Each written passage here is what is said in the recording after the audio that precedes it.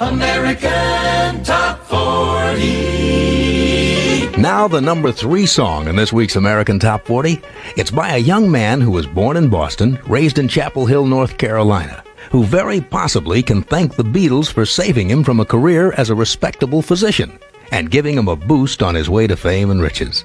This artist's father is the Dean of the School of Medicine at the University of North Carolina. But in spite of all the normal pressures on him to follow the family tradition in a medical career, he decided to take one good shot first at doing his own thing. So instead of going to medical school, he went to Greenwich Village in New York and got involved in the music scene. It was there that a producer for the Beatles' Apple Records discovered him. And although the first and only album on Apple wasn't a success, it gave him the start he needed. His second album, Sweet Baby James, is on the Warner Brothers label, and it's number five this week on the LP charts. From it comes his current hit single, Fire and Rain, number three this week on American Top 40. Here now is Sweet Baby James Taylor. Just yesterday morning, American Top 40. This next artist, a year ago last summer, had broken both his hands in a motorcycle accident. And for a singer who accompanies himself on a guitar, that's a bad way to be. But being in a bad way was not a new experience for this singer.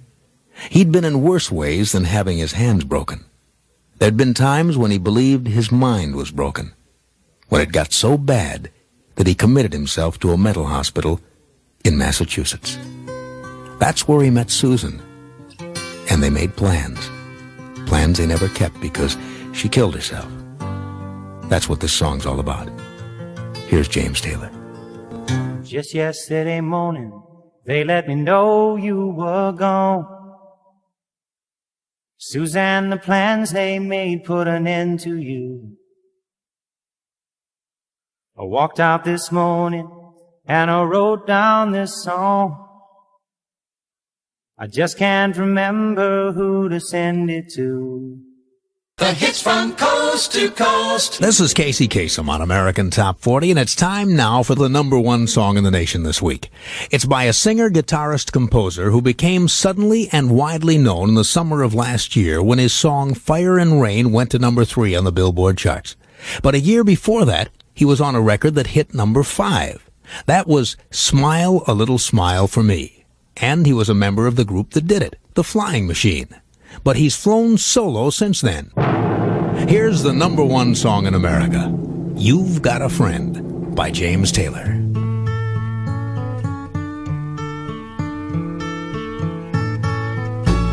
After a couple of weeks at number three, it's now the best selling song in the nation.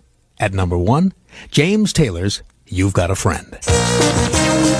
Well, that's it. The 40 top selling songs in the nation this past week. AT40 is produced and furnished by Watermark Incorporated. Don Bustany writes and produces, and we tape the show here in Hollywood. This is Casey Kasem. I hope you'll join me next week and we'll count down the 40 most popular songs in the USA. Till then, keep your feet in the ground and keep reaching for the stars.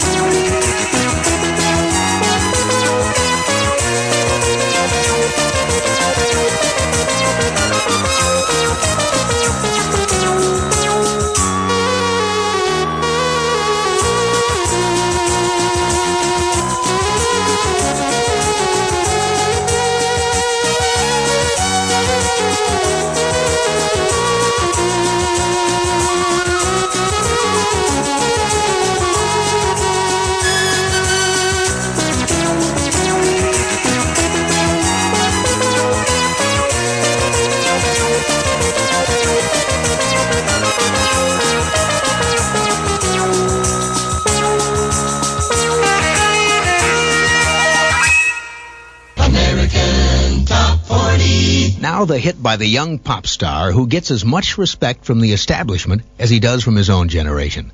A few months ago, he appeared at New York's Philharmonic Hall, which usually books the heavy talents of classical music. And Time magazine said he was right in his league. That's high praise for an artist who's only 22 years old. And he was practically unknown until a year and a half ago.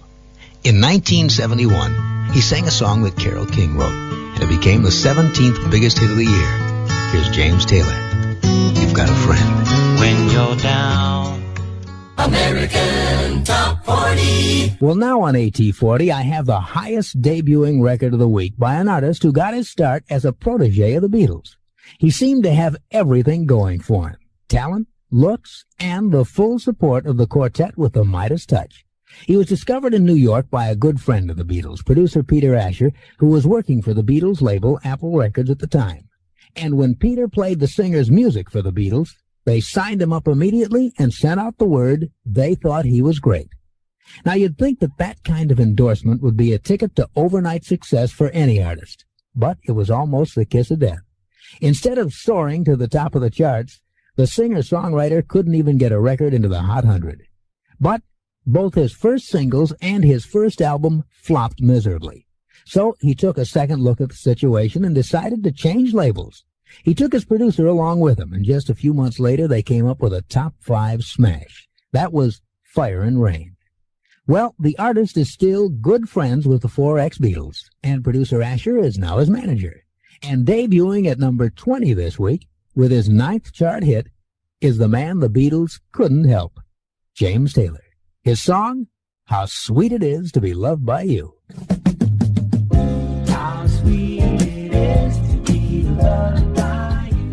American Top 40. This is Casey, and now on American Top 40, the current hit by the superstar of rock whose pet pig recently won first prize in a livestock show. It happened last month at the 110th Martha's Vineyard Agricultural Society Livestock Show and Fair. The swine division's blue ribbon went to a beautiful sow named Mona. But that's not all. She also won the purple ribbon for being the best animal in the entire show, which makes her owner prouder than a gold record would. These days, he's one of the best known residents of that Massachusetts island where he and Mona live. And his latest hit single is number 32 this week. Here's super rock star and champion pig farmer, James Taylor. Long ago, a young man sits and plays his waiting game. American Top 40. This is Casey Kasem in Hollywood. This next song in the countdown is by a man who's earned a lot of respect as a songwriter during the 70s. And the interesting thing is that he wrote only one of his four biggest hits. That was his classic first hit, Fire and Rain, back in 1970. But he never lifted a pencil on his other three biggies. They are You've Got a Friend, Mockingbird, and this one, a number five smash of last summer. At number 69, here's James Taylor and How Sweet It Is to Be Loved by You. How sweet. American Top 40. In Hollywood, I'm Dave Roberts for Casey Kasem. Now we're up to the song by the superstar who believes he was saved from almost certain death by the female superstar he married. Since 1970, this artist has run up a string of million selling singles and albums. He was a popular performer and became an important man in the business very fast. To all appearances, he had everything going for him. But the lifestyle he fell into with all of his success was a killer. This man is James Taylor. And in the story he tells, the person who saved him from the early death that hard drugs were leading to was his wife, Carly Simon. This is what James told writer Cameron Crowe. He said, My health was never good to begin with, and I was once in circles where it's the accepted thing to be killing yourself. I think Carly saved my life. She turned my life around to the extent that I won't die in ten years, where I might have before. End of quote. And so James Taylor acknowledges his wife, Carly Simon, for helping him get off the hard drugs that once threatened to bring an early end to his life. And since then, where it appears he has everything going for him, he has. Here's his latest hit called Her Town Too, up a notch to number 11 this week. It's a duet with J.D. Souther. Here's James Taylor. Casey's Coast to Coast.